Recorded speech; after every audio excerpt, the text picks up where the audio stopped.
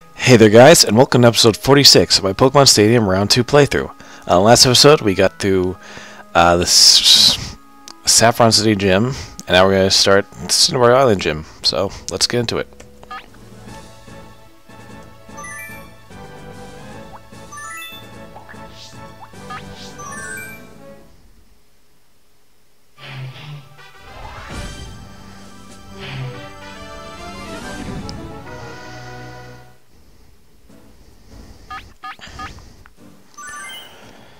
Okay, so we've got a, a ground type, a two fighting types, a normal type, a poison ground type, and a bug flying type. Alright. So, um, I set in Starmie because I can hit most of them except for in Raticate. Then, um, as a way to hit most of them and avoid Earthquake, I'll go for Charizard. And then, um, so last option, I'll go with. Um, I guess I'll go go with uh, go with Gengar then. Actually, scratch that. Starmie, Charizard, and uh.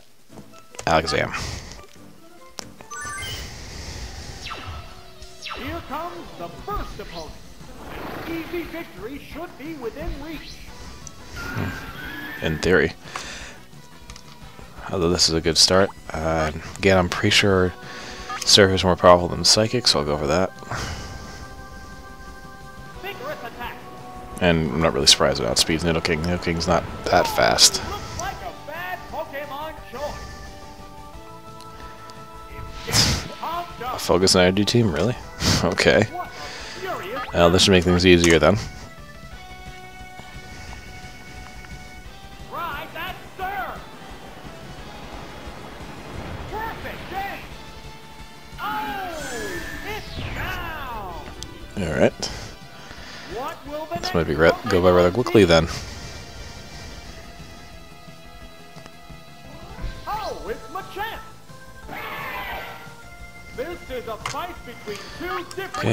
This is going to go by quickly. I'm pretty sure Machamp is going to usually survives that, but yeah.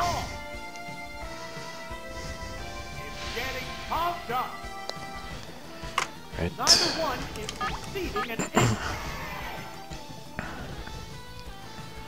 There it goes.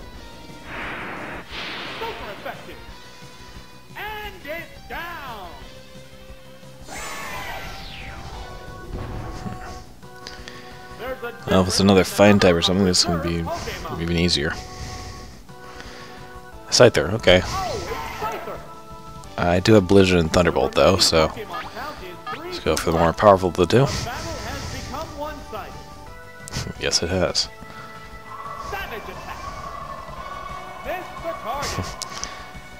Okay, so now I have a bit of an issue. Uh, well, in that case, I'll try for one more Thunderbolt, and if it misses, then I'll just keep going for... I mean, I'll try for Blizzard. If that misses, I'll go for Thunderbolt. There we go. That makes up for it.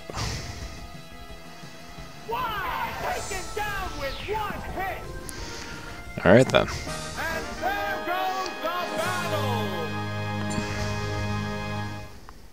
That wasn't too difficult. Actually, it wasn't didn't attack at all, so yeah. Anyway, let's move on.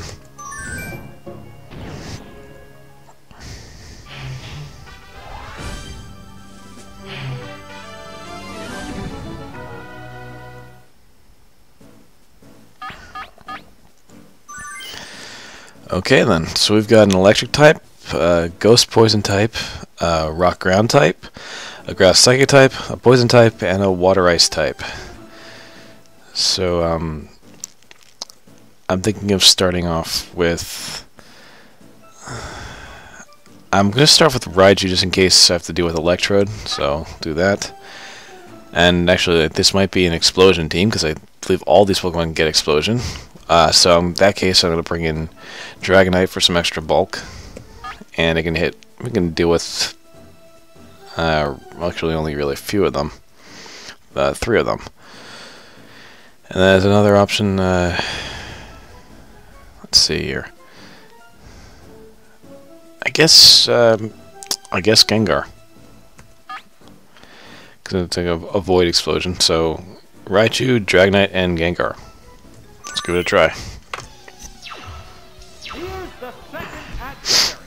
The challenger needs to stay calm to earn victory. Okay, that's all. That's an all right matchup.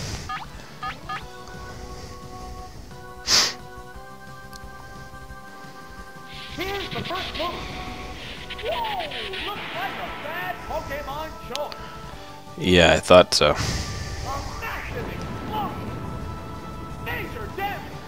Yeah, Raichu's not going to survive that, so I had to pick someone who can last on that one. And I think, uh, I think Dragonite, Dragonite's the bulkiest Pokemon I have, I believe. And of course, Um. Gengar will just avoid it.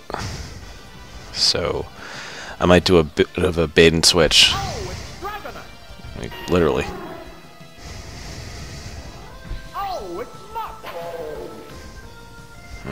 How will the type difference affect I know it's not going to go for it right out of the... I doubt it's going to go for it right out of the bat, but just in case, switch out to Gengar. Usually only does it if you have the type advantage, so in that case I don't. Oh, okay then. Well, that was Oh, convenient. Didn't think he'd go for it right the first turn, considering Dragonite doesn't really didn't get Psychic or Earthquake, so that works. Of course, uh, Gengar doesn't. I mean, uh, Dragon doesn't really have anything to hit Gengar with, so bide. Really, bide on Gengar? Okay. goes. Well, it's gonna go down in. Okay, three hit. It'll go down. I know Gengar will get knocked out before Bide activates. Because in the first generation takes three turns, I believe.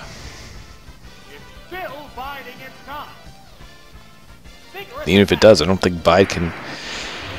If Bide doesn't take typing into a. Uh, if it takes typing into account, then it's not going to do anything. Because Bide's a normal type move. Although it looks like it won't matter. So that drop special drop really didn't matter. But either way. Okay. I think um I think last time I, I think in round one I didn't actually have a ghost type. Or if I did, I just never got lucky enough to switch it onto an explosion. Again, I have to I have to double check, but either way, that's done. One out of the way, so let's go on to round thir- uh, third trainer. That was always really annoying one for me. Was the explosion team. I think it's the only one in the game. Um, well, one of one of the only ones, if not the only one. Anyway, we've got a water psychic type. Actually, scratch that. Two water psychic types, a psychic type, a water fighting type, a ice psychic type, and an electric type. So um, again, mix of some weaknesses to electricity. So I'm going to start off with Raichu again in case Magneton shows up. Then I need someone who can resist psychic. So um, I actually am going to bring in Starmie. And then, as a last option, I guess just for neutral coverage, we'll go for Alakazam. So Raichu, Starmie, and Alakazam.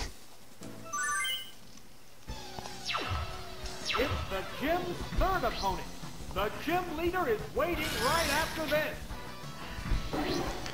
Yeah, not a bad matchup. Um, I'm not sure. Again, I'm not sure if it's gonna go for Psychic or Fate for Thunder Wave, because I know it has. I've already figured out both of those. The fir- first of which being a bit more obvious. So we'll see. We'll at least get. We'll try to get one hit in. Amnesia. Okay. I'm not sure that's really gonna matter right now. It might have just turn into a two-hit KO, but either way, I'll try for a Thunderbolt one more time.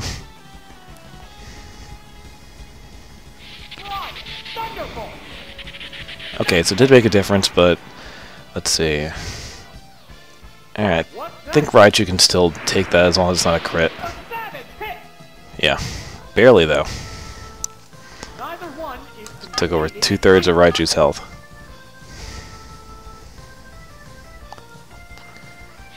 Okay, it's I'm actually good to switch out because I would I was considering going straight to Starmie and that would have been a bad matchup. Not to mention it would have been a three hit KO under normal circumstances. So, yeah, expect the unexpected, I guess. To. And just in case, I'm going straight for Thunder Wave. Two. This battle is still up guessing in. Mag Magneton's probably gonna do the same thing, to be honest.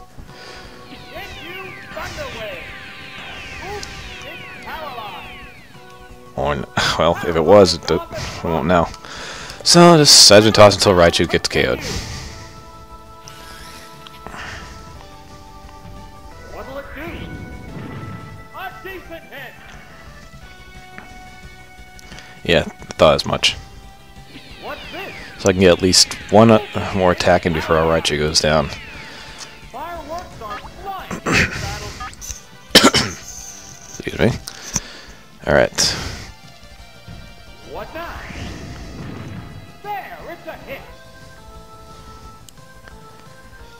Okay. Well, I know that without a crit, um, Raichu's can survive it, because last time Magneton came out, a crit nearly did took out half of Raichu's health. So as long as Raichu doesn't get paralyzed, yep, we got, it's all set. So that means one more Pokemon left, and Raichu's gonna get KO'd anyway.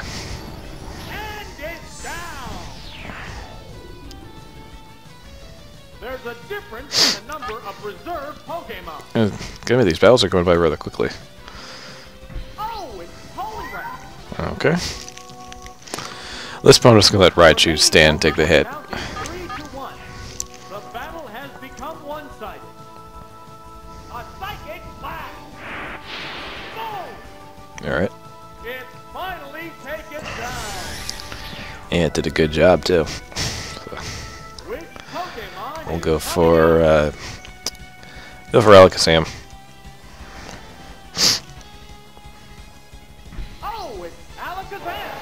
I'm not sure what water type moves Poliwrath can get, but uh, either way, I think Alakazam would be a better choice.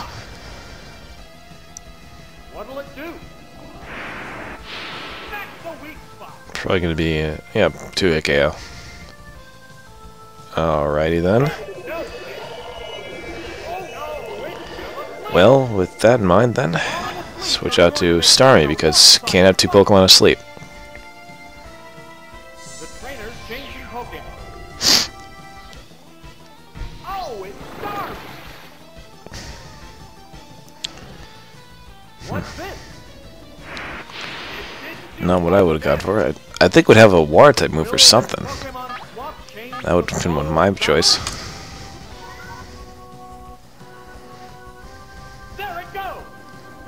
I'm guessing the strategy was probably just to lower the special stat or something. Either way.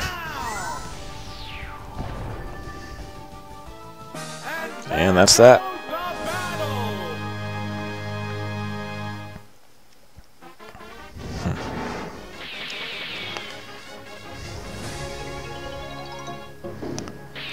Alright, and um, I'm actually getting the episode here, so catch you guys next time on the next episode when we challenge Blaine.